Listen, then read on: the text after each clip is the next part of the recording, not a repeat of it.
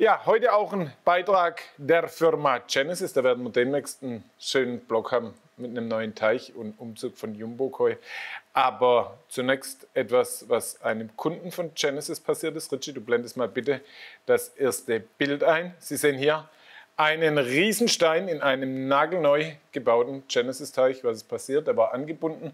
Und Sie sehen es nachher gleich, das ist ein Stein, der sollte quasi als Treppe in den Teich reingelegt werden. Und er wurde auch reingelegt, nur von etwas zu großer Höhe. Er wiegt circa eine Tonne und hat im Prinzip einmal oben die Wand zerschlagen. Das sehen Sie hier schön. Wenn wir ein Bild weitergehen, dann sehen Sie, wie es den Rand verbogen hat. Ich glaube, man kann von Glück sagen, dass er dann nur so entlang getitscht ist, den Rand nur gestreift hat. Sonst wäre wahrscheinlich der Schaden deutlich größer gewesen. Und wenn wir noch ein Bild weitergehen, dann sehen wir es von oben, wie richtig der Teich von dieser Querverstrebung abgerissen wurde. Die Querverstrebung ist ja, um dieser Form Stabilität zu geben. Und wenn wir noch ein Bild weitergeben, da sehen wir dann, wie es repariert wurde. Und das ist einer der riesenhaften Vorteile von dem ähm, Produkt PE. Das kann man quasi auf alle Ewigkeit immer wieder anflicken, erweitern, machen, tun. Und das ist auch der Grund, warum Genesis sich für diese 1 cm starke Platten entschieden hat, weil da natürlich schon nochmal eine ganz andere Stabilität drauf ist und man auch nochmal ganz anders die Möglichkeit hat, hier irgendwann mal was auszubessern oder, wenn man möchte, den Teich um eine Flachwasserzone zu erweitern. Es gab schon einige Kunden von Genesis, die dann später gesagt haben, Mensch, ich will hier noch mal ein Stück erweitern und noch um eine Flachwasserzone. Und das ist ja hier gar kein Problem. Wenn wir ein Bild weitergehen, dann sehen wir den Stein, der so gehauen wurde, dass er quasi als natürliche Treppe dient, was auch toll aussieht. Nur mit den ganzen Treppen im Keuteich muss man immer aufpassen. Das wird hier genauso sein, auch wenn der ähm, Stein oben bruchrau ist. Ähm, wenn da mal Algen drauf sind und Bakterien, so die typische Teichpatina, dann sind die natürlich glitschig ohne Ende. Und darum ist es eigentlich das Einzige, um rein und raus zu gehen, empfiehlt sich, so eine Schwimmbadleiter reinzumachen, weil man da einfach direkt senkrecht oben drauf tritt und nicht so einen Schritt nach vorne macht. Und der Schritt nach vorne, der kann einem da halt immer zusetzen. Ich habe auch gefragt, wie, was im Boden passiert ist. Und das Glück war wohl, dass schon ein bisschen Wasser drin war. Das nimmt natürlich schon mal ganz schön Wucht weg. Und leider ist kein Bild geschossen worden, wie der Teich aussah, wie der Teichboden aussah. Aber der hat es wohl unbeschadet überstanden. Der ist nur ein bisschen verformt worden. Und das ist halt auch wieder dem PE geschuldet, was eine unglaublich hohe Duktilität hat. So, aber es ist natürlich kein Grund, einen PE-Teich zu bauen, aus Angst, es könnte beim Bau ein Stein reinfliegen von der Tonne. Das war natürlich bei Genesis auch Generalprobe. Also, vielen Dank an Genesis, dass wir das Unglück haben auch sehen dürfen. Als nächstes, lieber Richie, machst du den Teich von Kalle. Kalle hat einen Traumteich, super gigantisch genial, hätten Sie eigentlich gestern schon sehen sollen. Aber wir haben hier gerade ein Problem im Netzwerk und da hat es gestern zwei Dateien auch von Chris. Sorry Chris, falls du dir den Blog anschaust, du hättest gestern schon drin sein sollen, bist dann morgen drin und ähm, da hat es die zwei Dateien hat's zerspult. So, ja, der zweite Teich, den wir Ihnen heute zeigen wollen, ist eine Perle. Eine Perle aus Bremen, sie kommt von Kai. Und ähm, aus Weihe bei Bremen, Kalle, habe ich Kai geschrieben. Ich habe aus Koi und Kalle habe ich, ähm, hab ich Kai gemacht. 15 Koi von 40 bis 80 cm, 35.000 Liter, Baujahr 2000, ein Bodenablauf 160. Wow, wer in, zwei, in, in, in, im Jahr 2000 schon 160er Bodenablauf gemacht hat, der hat Ahnung von der Strömung. Einmal Trommelfilter, einmal zweimal 40er Highblow, einmal UVC, Amalgam 120 Watt, eine Lin 01 29.000 Liter, dreimal 110er Rücklaufleitung.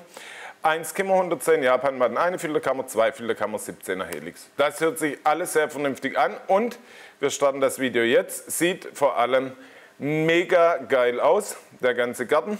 Und jetzt warten Sie mal auf den Keuteich. Das ist ein richtiges Schmuckstück, dieser riesen Ahorn. Und dann den ganzen Teich richtig geil eingepflanzt, jetzt mit sehr viel Blüten. Und das ist wirklich Ruhe. Also der Teich, der hat richtig im Garten seine Stabilität, der hat den idealen Platz. Auch die Steine seitlich richtig mega geil. Und man sieht richtig schöne große Fische und auch schöne Fische. Also aus dem Jahr 2000 denke ich, schwimmt da nicht mehr viel drin. Da wirst du wahrscheinlich hier und da mal einen abgegeben haben. und auch 15 Koi auf 35.000 Liter. Ist eine relativ geringe Stückzahl, ein dünner Besatz. Und du hast sogar sehr schöne Fische. Der Giro gefällt mir sehr gut. Der Sanke, wo jetzt rechts aus dem Bild schwimmt. Das Wasser sieht schön aus. Es sieht ein bisschen strömungsarm aus, wobei so wirklich beurteilen kann man es nicht. Ich sehe nur eine, durch der, eine Luftblase, doch da vorne schwimmt eine. Aber das passt alles schon sehr gut. Das Wasser ist auch schön klar.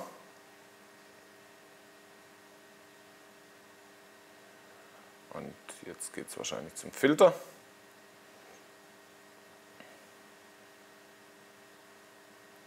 Hier und da noch eine kleine Sitzecke.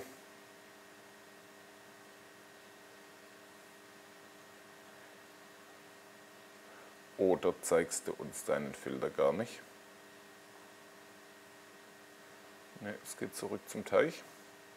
Also das, die, das Ufer ist toll gemacht mit den Steinen, mit den vermoosten Steinen und das Wasser kann noch dahinter fließen. Und auch hier nochmal zum hundertsten Mal lassen sich da von niemand einreden, dass da hinten dann sich tödliche Bakterien bilden. So funktioniert die Natur nicht. Da würden alle Fische in allen Flüssen und Seen dann sterben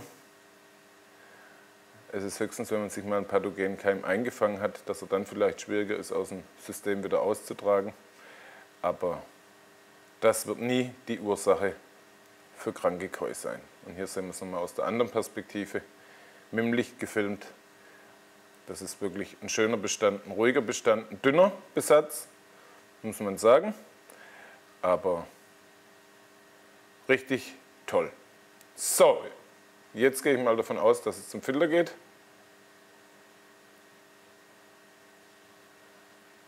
Kalle, was tust du?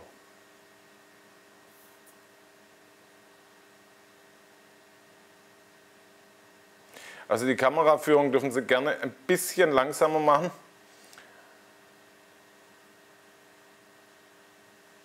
So.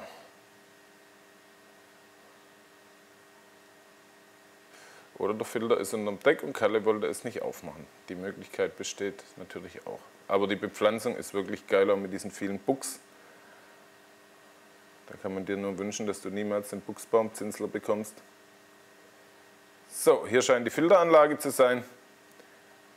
Sehen Sie, die kann man auch richtig schön weit weg machen vom Teich. Er hat einen 160er Bodenablauf, erzeugt weniger Druckverlust wie 200er Bodenabläufe.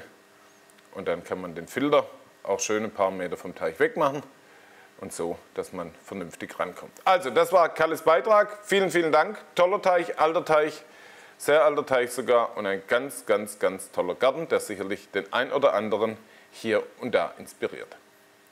Den zweiten Teich, den wir Ihnen heute zeigen wollen, kommt von Daniel. Und Daniel schreibt uns, Teich 16.000 Liter, Filter 2.000 Liter, 17 Koi zwischen 35 und 75 cm, drei Frösche, Smiley, Luftpumpe 60 Liter pro Minute, UVC 40 Watt Amalgam pro Pumpe, brutto 30.000 Liter, 300 Liter Helixgröße, KKL 13 plus Bürsten von Genesis und wir schauen uns jetzt das Teichvideo an.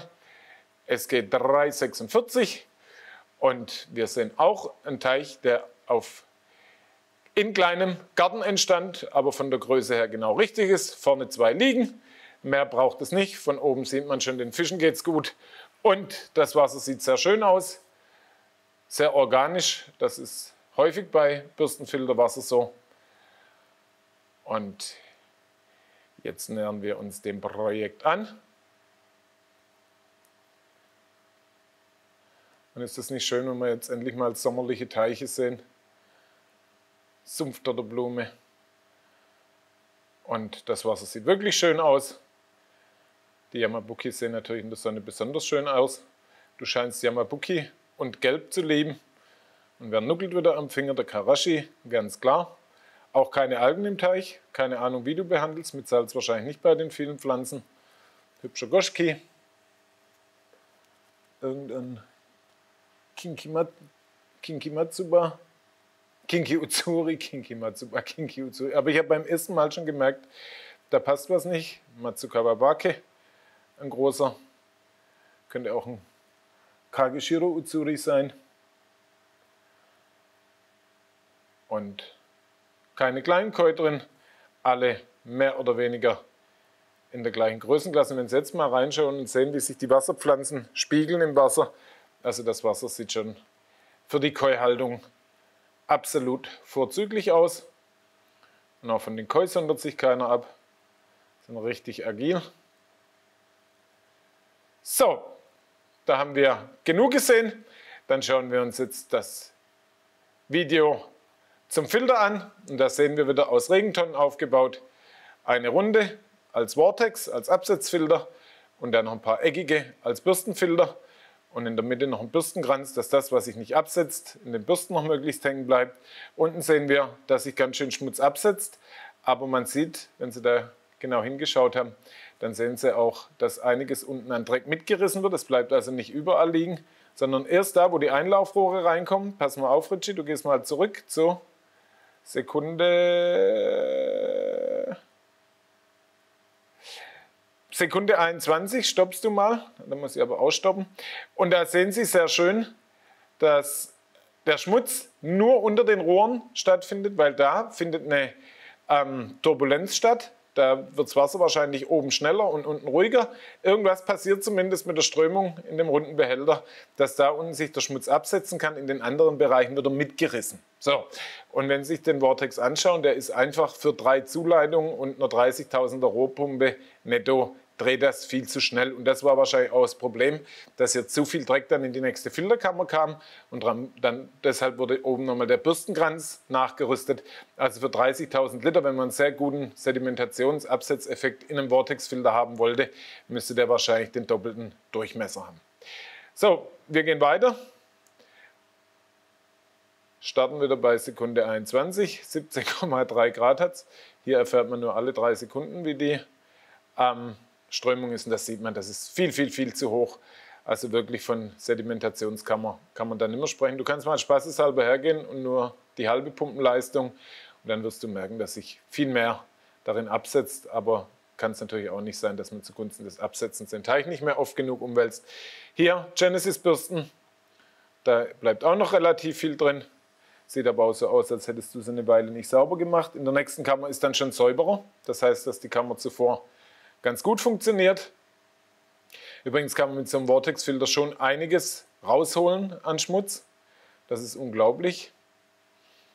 Und wenn wir noch eine Kammer weitergehen, dann sehen wir hier das Helix KLL13 ist es, glaube ich, was du geschrieben hast. Und da ist halt immer die Frage, kriege ich das vernünftig durchströmt oder nicht? Das sieht immer einfach aus und man denkt, alles ist gut aber häufig werden die Kammern wirklich ineffektiv genutzt. Man versucht das Maximale an Material reinzubringen, aber genauso wichtig wie die Menge des Materials ist die Anströmung, haben wir in letzter Zeit öfters mal gesehen.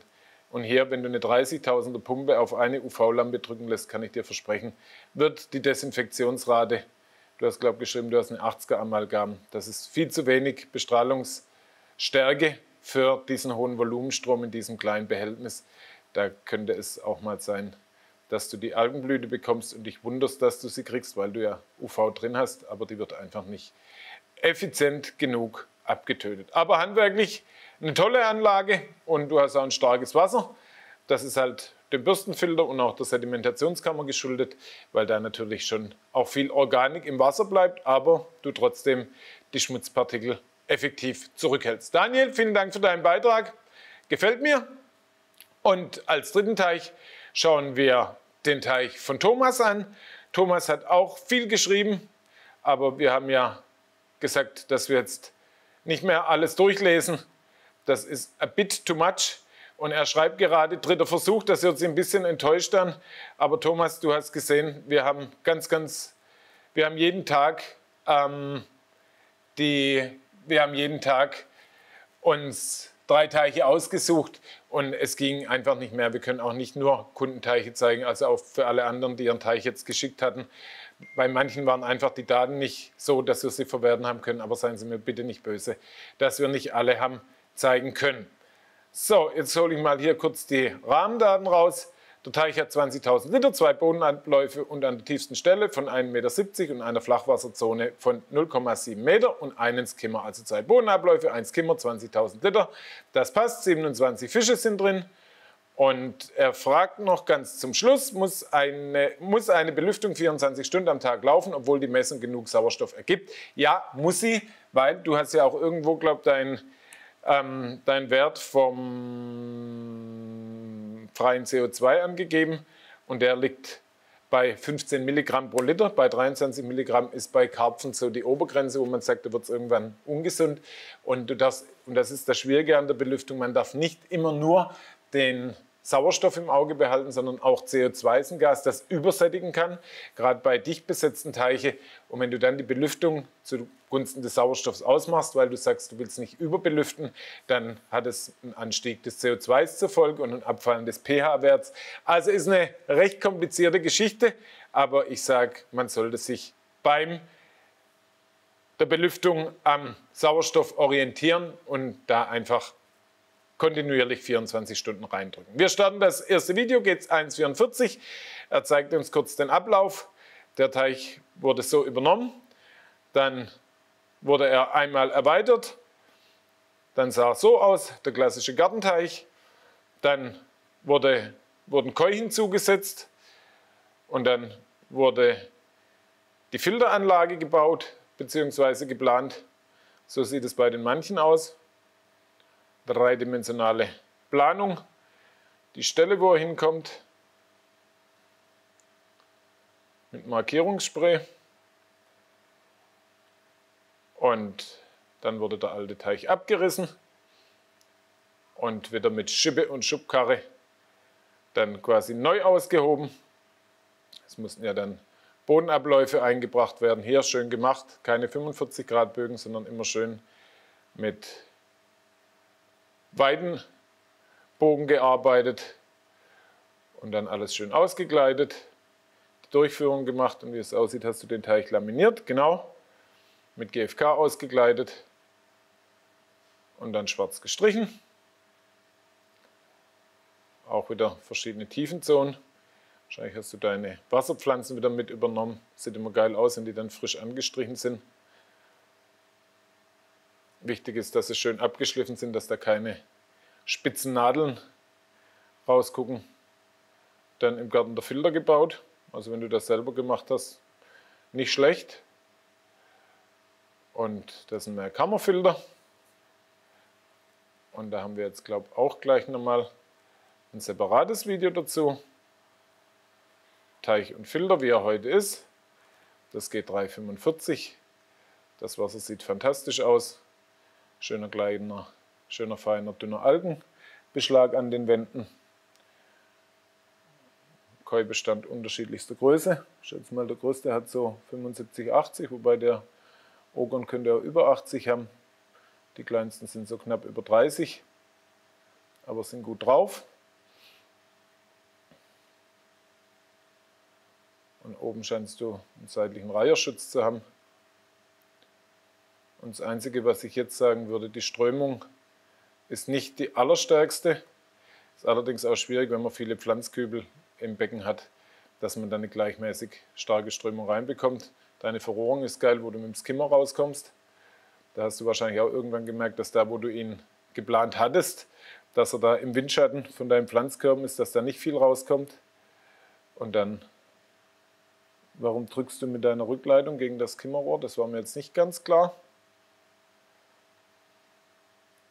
Deine Koi sind etwas scheu. Also irgendwie, ähm, ohne da jetzt irgendwas davon ableiten zu wollen, aber ein bisschen einen merkwürdigen Eindruck haben sie gemacht. Also hier kommen wir dann rein. Da kommst du wahrscheinlich in den Korb mit dem Skimmer rein, dass du da schon mal den groben Dreck abskimmst. Das ist eine gepumpte Anlage, da wirst du wahrscheinlich den Grobschmutz von, den, von der Pumpe fernhalten. Und da sehen wir uns Skimmer.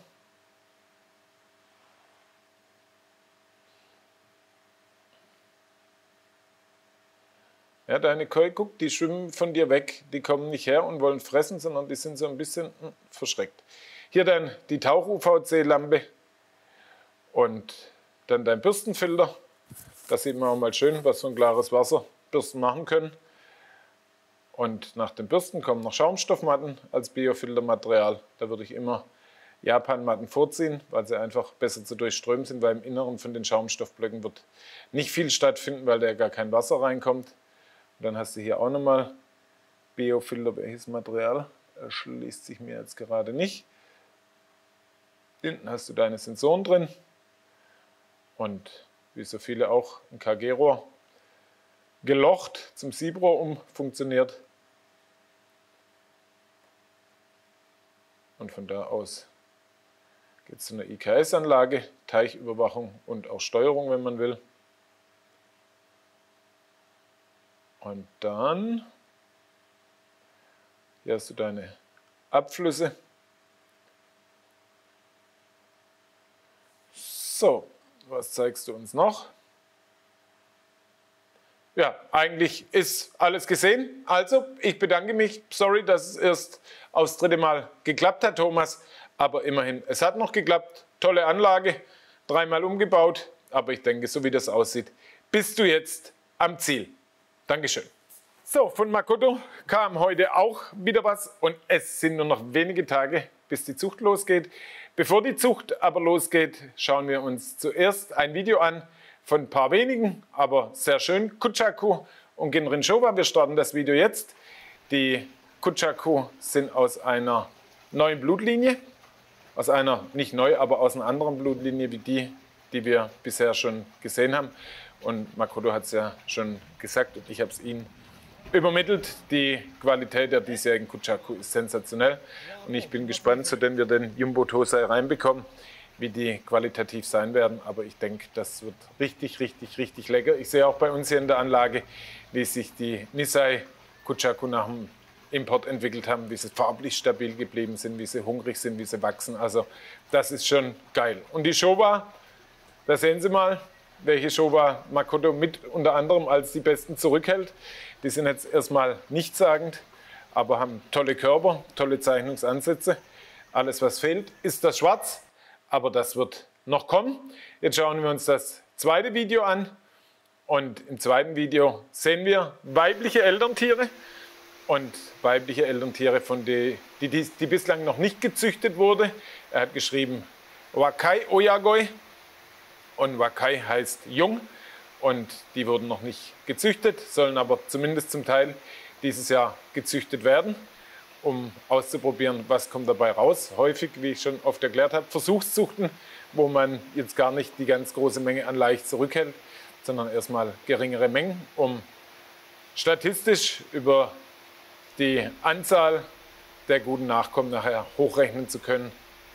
Ähm, was wäre, wenn man die, den gesamten Laich großzieht oder deutlich mehr, dass man 50 oder 100.000 großzieht oder mit 50 oder 100.000 startet und nicht nur wie in den Versuchszuchten meistens mit 5 oder 10.000. Wir sehen gigantische Ochiba, die letztes Jahr aus Mitsukoshi zurückkamen. Wir sehen einen riesen Karashi Goromo. Wir sehen geile Kuchaku Karashis. Ein komplett schuppenloser Karashi, auch das wäre mal geil, wenn wir komplett schuppenlose Karashis züchten könnten. Hier ein Shirogoshki, der soll gezüchtet werden. Unten ein Aigoromo. Den hat ihn mal gekauft, dreijährig. Hm? Und habe einen guten Kurs dafür bekommen. Einen wirklich guten Kurs. Und dann ist zwei Tage später ist Konishi gekommen und hat gefragt, ob ich den schon verkauft habe. Dann sage ich, nee. Dann sagt er, dann würde er mich darum bitten, dass ich ihn nicht kaufe, weil er sieht in ihm ein sensationelles Elterntier. Heute ist er, glaube ich, sechs. Und schauen Sie den Körper an. Links unten schwimmt er jetzt gerade. Ein wirklich irrsinniger ähm, Algeromo hat ein ganz klein wenig Farb verloren. Das spielt aber nicht die Rolle, aber er ist von der Farbe her auch, wenn Sie wie so ein Sanke, so leicht Indigo, hat so einen leichten Bulugoromo-Eintouch, obwohl, es ein Algeromo ist. Auch er hier war schon mal verkauft an Willi und der hatte sich oben die Schwanzflosse verletzt und Willi hat sich dann eh für einen anderen entschieden und da waren wir auch froh, weil heute ist er Elterntier. So, jetzt muss ich kurz schauen, dann haben wir noch, last but not least, The Catch of the Day. Ein Shusui. Auf dem ersten Bild weiß ich nicht, wie groß, die waren aber alle so zwischen 38 und 40 und schauen sich den an. Man könnte ihn jetzt als langweilig bezeichnen oder man könnte ihn bezeichnen als ein außergewöhnlicher Shusui mit einer absolut perfekten Zeichnung. Er hat oben die Schuppenreihe, so eine Doppelreihe, da gibt es ja auch unterschiedlichste ähm, Beschuppungen und er hat eine 100% spiegelbildliche rote Zeichnung, die bis ans Rot hineinläuft und ganz leicht ins Rot hineingeht. Und dabei ist Makoto heute unter den Chaussee mit dem besten Rot ist das häufig genauso der Fall. Die sehen genauso aus. Am Kopf hatte er damals noch nichts, hat also auch noch kein Jakko ausgebildet. Und Sie kennen das ja von unseren Chaussee-Selektionen, dass das Jakko irgendwann kommt oder auch nicht. Und so ging er als einer der Besten in Naturteich. Und auf dem nächsten Bild sehen wir, wie er zurückkam. Und das Jakko hat sich zwar noch nicht gebildet, er war 57 cm groß, damit einer der größten des Jahrgangs. Das Jakko hat sich noch nicht gebildet, aber Sie sehen, in den Brustflossen war noch nichts. Machen wir beide Bilder nebeneinander, Richie. In den Brustflossen war noch nichts, da kam was. Und in den Augen kam es langsam. Und so war anzunehmen, dass jetzt in den nächsten Jahren sich ähm, weiteres Rot im Kopfbereich bilden wird, zumindest im seitlichen Kopfbereich. Das Rot am Körper, sensationell, das ist genau dieses Goschki-Beni, wo es sehr, sehr selten ist, wo Makoto auch mal im Modern Koimek von erzählt hat. Und das ist also insgesamt, außer dass man ihn jetzt vielleicht als ein bisschen langweilig anschauen könnte, war der Koi eine absolute Wucht, eine Ausnahmeerscheinung. Wir schauen uns jetzt das Video an, wie er aus dem Naturteich Hongo USA kam. Er wuchs auf 65 cm und damit auch einer der größten Chaussee des Jahrgangs. Und wenn Sie als erstes auf den Kiemendeckel schauen, sehen Sie, das Rot, zumindest auf der einen Seite, ist am Kommen und oben gigantische Rückgratbeschuppung von der Farbtiefe her genau richtig, schön dunkel, hat einen gigantischen Körper, wieder bitte in Schleife, hat einen gigantischen Körperbau, den Höcker, er wird Volumen machen, richtig gute Kopfform, passt alles, er ist schön lang, Schauen Sie den Glanz des Rots an.